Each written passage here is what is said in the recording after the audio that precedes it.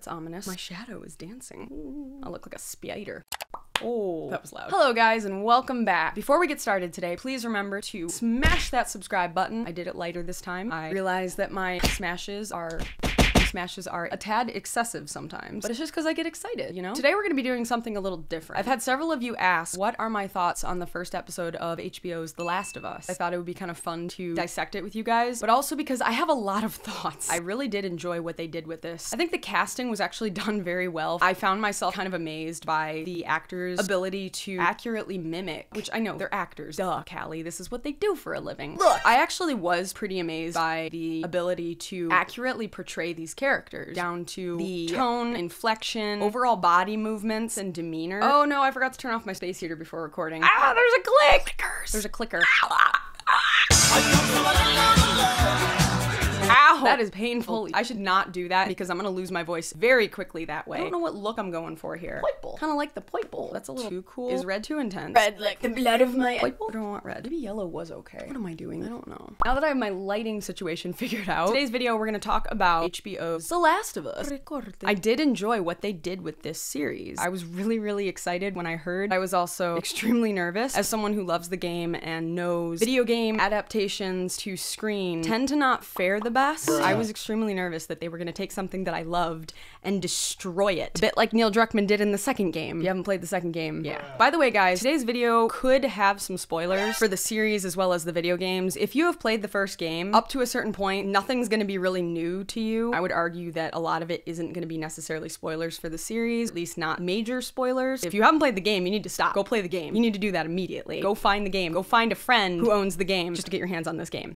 This series does add in a bit of background context. They did take a few creative liberties in terms of how they kind of adapted it for the screen. The majority of the content is loyal to the source material, but if you haven't seen the series and you are being wary of spoilers on the first episode, please tread carefully because we may be discussing a few things that could be somewhat spoilerish. Just FYI, you guys. All in all, my overall interpretation of the series was that it was very well done. I thought the actors did a phenomenal job of bringing these characters to life. So far, I really appreciate the creators staying true to their word about staying loyal to the game's original story. Obviously, I will be judging the show based on later episodes, but these are my current thoughts based on episode one. So I'd like to start with giving some examples about things that I liked about the series or liked that the series did. So I really appreciated the slight differences in the opening that made the series and episode one suspenseful for people like me who have played the game two or three times through now. I also love that they included the game's original score because I love that musical score, though I honestly just wanted even more. I wanted them to really drive that music hard. The game's musical score is something that I love so much about it. It has so much emotion, so much of the intensity and the emotional impact. That is something that I really, really connected with and loved about the game. So the added opening that took place in the 60s, I think it was like 1968, I forget, don't quote me on that. I wasn't really sure how I felt about that initially, but I also kind of like how it did frame the situation or or frame the at the time hypothetical danger and severity of what could happen and what obviously as we know would later happen. I liked how it really kind of raised the stakes or made it not suspenseful because we already know what happens. Like someone who's played the game and goes into this series, we know what happens. We know how that's gonna go for us. But I really just kind of liked the added background of and and I wasn't sure how I felt about it probably because of the way it was done. It took some creative licensing on the whole approach of how they were gonna do this, of like adding this something new for viewers who have played the game to kind of come into this being like what what's going on? What's happening? But I did kind of like how it ended on that note of we lose. It really was a very ominous example of foreshadowing. Again, if you played the game, you know what happens, but regardless, it still had that added foreshadowing in an interesting way that I wasn't expecting. Another aspect that I really liked are certain moments felt so much like the game. It was really done in an interesting way and it didn't feel cheap or forced at all. Immediate example that I think of from episode one is when they're driving, the driving scene where Tommy, Joel, and Sarah are trying to escape town. The way that this was shot, it was from the backseat perspective, kind of like the third person camera perspective from the video game because you see all three characters in it, where you can see Tommy, Joel, and Sarah, even though you kind of are Sarah. We are seeing things from her point of view up until Joel takes over. The way that this was shot, the jumpiness of the camera felt like, I mean, we were in the vehicle, but that so much felt like what it felt like from the video game, but it wasn't cheap. It wasn't like a gimmick. It wasn't, oh, they're just trying to make it seem like a video game. It didn't feel cheap to me, and it didn't feel forced. It felt so natural. So, another thing that I really, really appreciated about episode one and the series so far is several of these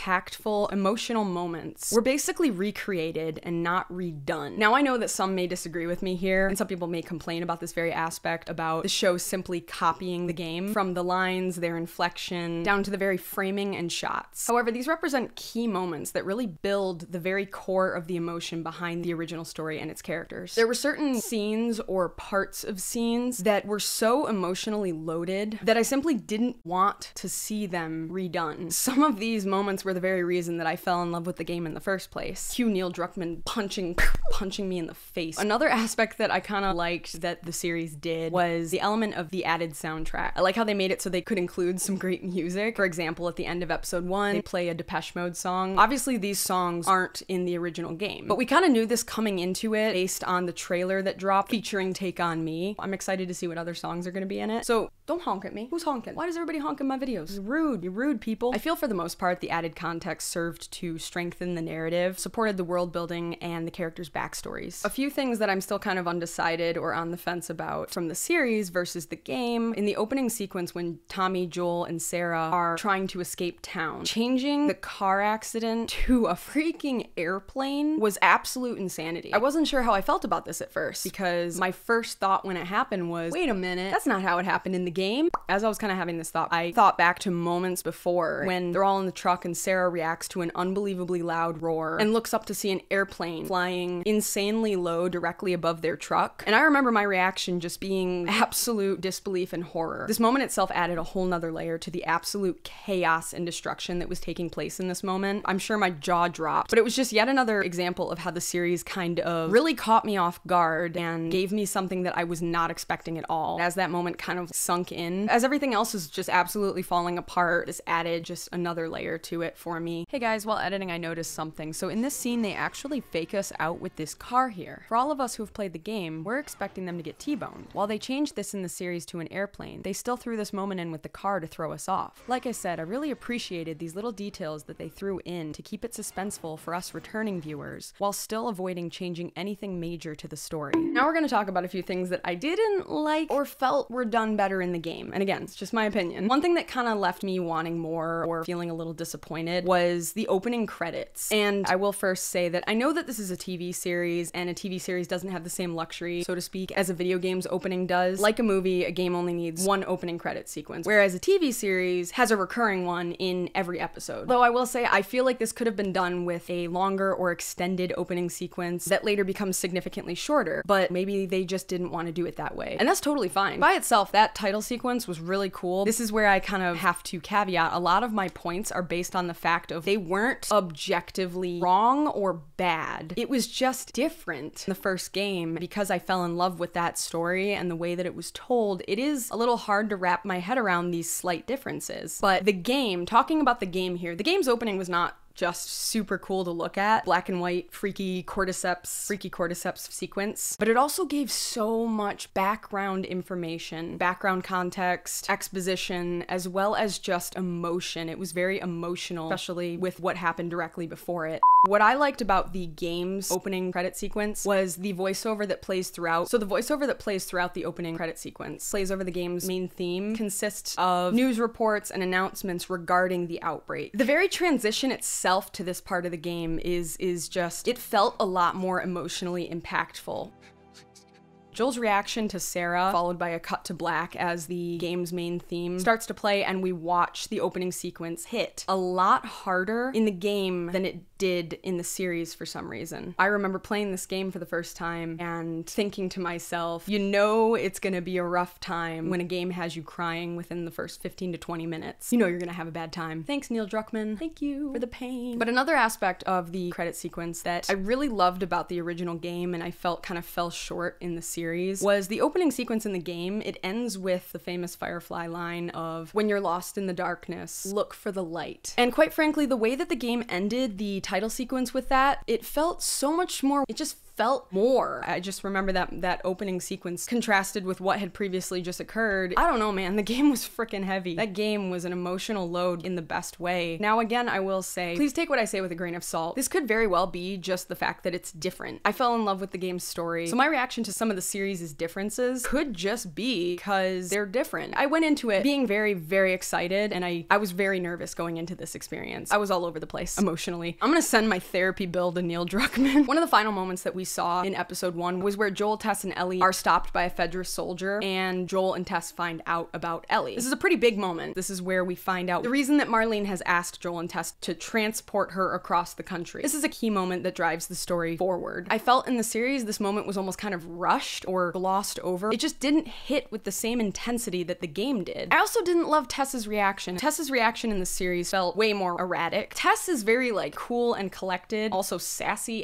AF. Tess is a lady that you do not want to cross. I just, I don't know. It felt not very Tess. And meanwhile, I felt like Joel didn't really react nearly as much as he does in the game. Like I kind of felt like Joel didn't really have much of a reaction at all. And I would like to say that I did appreciate the added detail about the Fedra soldier sort of triggering Joel's memory of the soldier who stopped him and Sarah 20 years before. We all know Daddy Joel is traumatized and we love our cold, emotionless grump. The Joel we know and love. Like I said, we know he's got trauma, but I felt this had an added depth that didn't come across so much in the game. We know from the game that Joel is very much haunted by what happened, something that would be extremely traumatizing. It doesn't matter how much time has passed. But this sort of PTSD flashback causing Joel to go into an absolute blind rage was just mwah, chef's kiss. Overall, I'm really enjoying what I'm seeing so far. I really like what they're doing. It's a thumbs up from me. I really overall like the series. But like I said, it's only episode one, and I will be judging it accordingly based on later episodes. Clicker noises. These guys know where I am, but I don't like how the controller's pulsing. Zero stealth. But out of sight. Yeah, that would have been nice to know. Oh, of course his name is Ringo. If anything happens to Ringo, I will go on a murderous rampage. Yeah. Oh god. Let's use my brain this time. I snuck attack, sort of.